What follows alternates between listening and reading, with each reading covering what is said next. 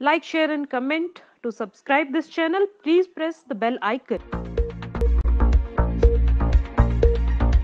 Delhi के press club में jet air के कर्मचारियों ने आज प्रेस क्लब में प्रेस कॉन्फ्रेंस की और केंद्र सरकार से गुहार लगाई कि जेट एयर को फंड दिया जाए, जिससे कि वह पहले की तरह लोगों को अपनी उड़ान की सुविधा दे सके।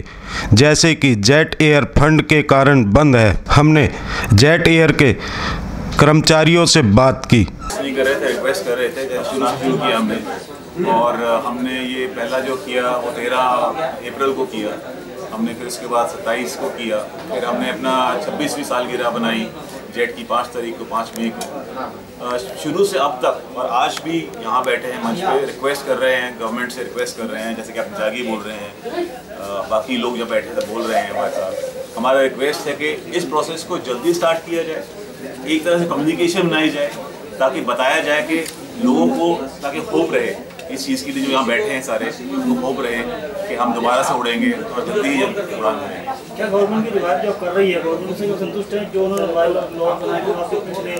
जो आपके सारे नॉन थे क्या वो रिप्रेजेंट हो सकते दोबारा? देखिए अभी मैं हाँ? मैं आपको बताता हूँ अभी सरकार को बने हुए सिर्फ़ थोड़ा सा ही समय हुआ। है तो ये कहना कि सरकार कर रही है सरकार के पॉजिटिव इंडिकेशंस हैं। और अभी तक के जो इंडिकेशंस हैं उससे हम पूरी तरह सेटिस्फाइड हैं। उसमें कोई भी ऐसी प्रॉब्लम नहीं है। दूसरी चीज़ मैं आपको थोड़ा सा करेक्ट करना चाहूँगा। हम एयरलाइन बंद नहीं हुई है। एयरलाइन का टेम्परेरी सस्पेंशन ऑफ़ ऑपरेशन हुआ है। एयरलाइन आज भी रिवाइव अभी भी एयरलाइन इज़ देयर अस्थायी रूप से बंद। अस्थायी रूप से बंद है। अस्थायी रूप से बंद। परमानेंट हम लोगों ने सारी चीज़ें उसकी बंद है। गोयल साहब को बम्बई से वो जाने नहीं दिया बाहर से उतार दिया। सारी चीज़ें उसकी बंद है। फिर भी आप कह रहे हो अपने आप में कैसे संतुष्ट आप मेरी समझ नहीं नहीं मैं बता रहा हूँ। इसलिए कंफ्यूज जब तक हमारा आप जब बंद कब हो जाती है जब हम लोगों में से ये कहा जाता है कि अब अब कल से ऑपरेशन तो बंद ही हो गया साथ ही साथ ये भी ऑप्शन हो गए और आपकी इम्प्लॉयमेंट भी चली गई ठीक है? ऐसा कुछ नहीं है। अस्थायी रूप से बंद इसलिए रखा गया है क्योंकि ये चांसेज हैं। इन्वेस्टर्स इन्वेस्टर्स लगे हुए हैं आप बराबर अखबार में पढ़ रहे हैं। मीडिया के माध्यम से हमें भी मालूम चल रहा है कि इन्वेस्टर्स हैं। सकारात्मक जो एक दृष्टि है वो सरकार की है। अभी एक हफ़्ते में सरकार से हमें ये जो मिला है इससे बड़ी संकेत हम क्या उम्मीद कर सकते हैं उम्मीद पे दुनिया कायम है उम्मीद पे दुनिया कायम है। बाकी टाइम में आचार संहिता है कोई कुछ बोल नहीं सकता है। तो एक हफ़्ते में हमारे लिए एक बूंद भी अगर आ जाए जीने को तो समझते हैं बहुत है। मैं बहुत ही शुक्रिया अदा करता हूँ सरकार का जो उन्होंने ऐसे ऐसे नियम फिर बदला है हमारी आशे जग गई हैं। हमारे लोग खड़े हो चुके हैं। तो भैया कुछ आशा मिल रही है हमारी? क्या कर सकते हैं? यानी कि बहुत बहुत आपको धन्यवाद। बहुत धन्यवाद मैडम क्या नाम है आपका? जी जो आज ये प्रेस कॉन्फ्रेंस रखी किस मुद्दों के लिए रखी? सर ये प्रेस कॉन्फ्रेंस इसलिए रखी गई है कि हमें सरकार से ये उम्मीद है कि वो जेट को रिवाइव करने में हमारी थोड़ी मदद करे और हमें आगे बढ़ने में थोड़ी हेल्प करे। सरकार किस तरह आपकी मदद करे? सरकार जो भी जो भी अ, हमारे एसबीआई और आगे जो इन्वेस्टर्स हैं उनको थोड़ा सा पुशअप करें कि आप प्लीज़ थोड़ा जल्दी रिवाइव करने की कोशिश करें। क्योंकि 17 अप्रैल से आज की डेट ये छोटा टाइम नहीं होता ये बड़ा टाइम होता है। तो हम ये उम्मीद करना चाहते हैं सरकार से कि वो थोड़ा सा प्रेशर डाले एसबीआई के ऊपर कि इस रिवाइवल प्लान को थोड़ा और जल्दी से जल्दी से स्टार्ट करें। अच्छा मैडम जैसे ये आपका चार पाँच महीने से बंद है और चौबीस हज़ार के आसपास वर्कर है तो कैसे घर चल रहा है? सर घर चलाना तो बहुत मुश्किल हो रहा है तो इस बीच में कोई सैलरी की भी आपकी मांग है?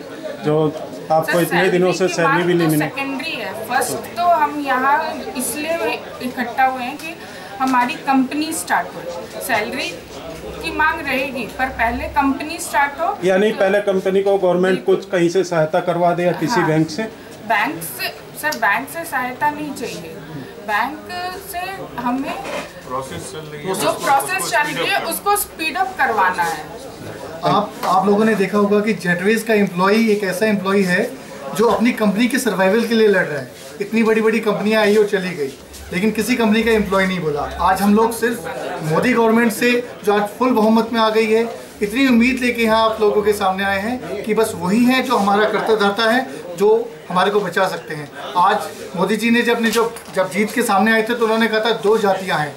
एक जाति जो अमीरों की है और एक गरीब की। तो हम चाहते हैं, हम उनके इस मुहिम का एक हिस्सा बने और जो एक स्टैंप लगा रखी कि एम्प्लॉयमेंट रेट कम हो रहा है, उसके अंदर हमारा नाम ना जोड़ा जाए। हम लोग चौबीस हज़ार प्लस करके दिखा दें कि हाँ हम लोग देश के विकास के लिए आपके साथ खड़े हैं और आगे इस देश को इंटरनेशनल लेवल पे हम लेके जाएँगे और बहुत अच्छा परफॉर्मेंस हम लोग देंगे बस थैंक यू महिला होने के नाते राष्ट्र में क्या मोदी जी का नारा है और- इस देश का नारा नारा है कि बेटी पढ़ाओ बेटी बचाओ आंदोलन चल रहा है। इस देश की बेटी पढ़ के आगे आई है एक जॉब करना चाहती है। उस कंपनी को बंद मत करो उसको वापस स्टार्ट करो।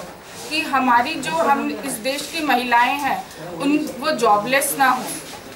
हमारा यही इस नए सरकार से उम्मीद है आशा है और आशा की किरण दिख रही है। बस हम उसमें थोड़ा सा स्पीड अप चाहते हैं। सर क्या नाम है आपका? राकेश कुमार। राकेश कुमार जी जैसे आज देखे हम यहाँ प्रेस कॉन्फ्रेंस की है आप लोगों ने। तो आप अपनी कंपनी के लिए क्या करना चाह रहे हैं प्रेस कॉन्फ्रेंस करके? सर मेरे को 20 साल हो गए जेट एयरवेज में सर्विस करते करते।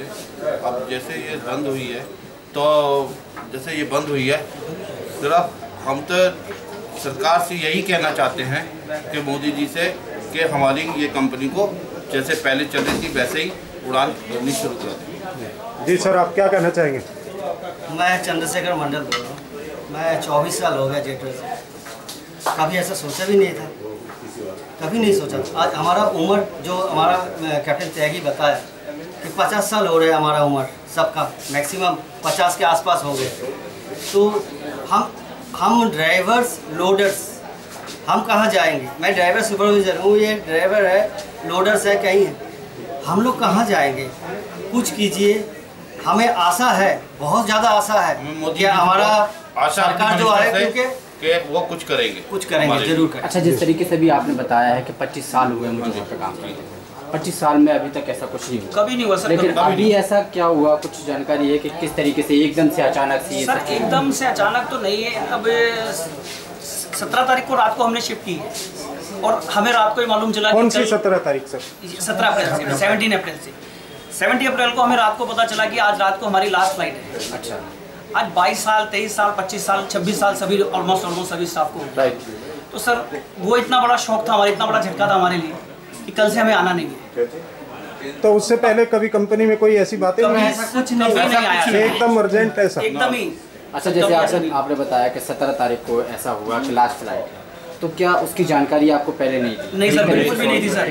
तो क्या इसकी जानकारी आपने दूसरे दिन जाके ली है? पता किया आपने कि मतलब क्या था ऐसा कि जिस तरीके से आपने बोला है कि सत्रह तारीख को हमारी लाइफ लास्ट फ़्लाइट देखिए 2010 से जेटरेज का 2010 से ही ऐसा ही बोल रहा था कि हम प्रॉफिट में नहीं है हम प्रॉफिट में नहीं है प्रॉफिट बाकी चल रहा था और ठीक चल रहा था। हमारा सैलरी एकदम एक तारीख को आ रहा था। हमारे बोनस दिया जा रहा था। हर चीज़ कुछ हो रहा था। ठीक तो ठाक था। हम जैसे ठीक ठाक चल रहा जो नीचे के स्टाफ है हमें यही आशा है कि कंपनी कैसे भी हो जेटरेस एक नंबर है। बाकी कोई भी एयरलाइंस हो उनके स्टाफ के साथ जैसे भी बर्ताव होता है हमारे साथ एक नंबर होता है। और हम एक नंबर काम करते हैं हम सब अपना दिल जान से काम करते हैं। हम एक मिनट भी हमारा किसी और जगह पे नहीं लगाते फ़्लाइट आ रहा है और फ़्लाइट को कैसे उड़ाना है। अभी आप क्या उम्मीद रख रहे हैं? अभी हम बस सरकार से मोदी जी से पूरा हम मोदी जी का भक्त है। हम सबने मोदी जी को ही वोट दिया। आज जो आज उनका 303 रिक्वेस्ट करते हैं क्या भक्त होने से ये काम हो जाएगा मोदी भक्त आप बोल रहे हैं। नहीं हम मोदी जी को 303 में हमें पहुँचाए है उसको आज हमें ट्रस्ट है कि वो ज़रूर करेगा क्योंकि हमें आशा है कि वो ही करेगा जो भी करेगा। मोदी जी कर सकते आज तक के जो भी उनका काम है हम रेगुलर जानते हैं देखते हैं।